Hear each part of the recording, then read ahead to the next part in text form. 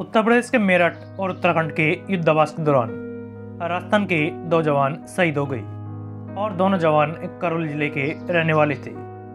वार practice में blast के दौरान बुरी तरह घायल हुए जवानों को अलग अलग मिलिट्री हॉस्पिटल में एडमिट कराया गया था।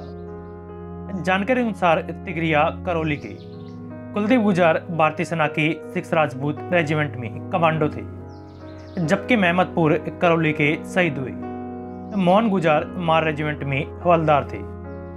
शुक्रवार को दवा दौरान वे घायल हुए थे।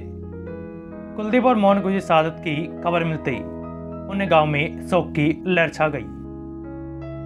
शहीद हुए जवान कुलदीप गुजर का पार्थिव शरीर शनिवार दोपहर करीब दो बजे उनके पैतृक गाँव तिगरिया पहुंचेगा।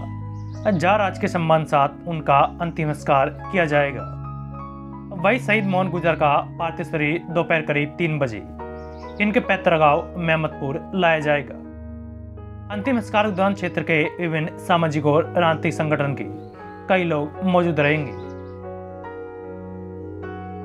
टोडाबीम फंड क्षेत्र के तिगरिया ग्राम पंचायत रहने वाले कुलदीप गुजर की गुरुवार शाम को उनके पिता वृंदावन सिंह से फ़ोन पर बात हुई थी और फ़ोन पर अपनी माँ का हालचाल पूछा था। वह घर कुछ ज़रूरी कामों के लिए मई में छुट्टी लेकर आने वाले थे। लेकिन इस दौरान उनकी शहादत की खबर आ गई। शहीद जवान कुलदीप गुजर की तीन पीढ़ियाँ सेना में देश सेवा कर चुकी है।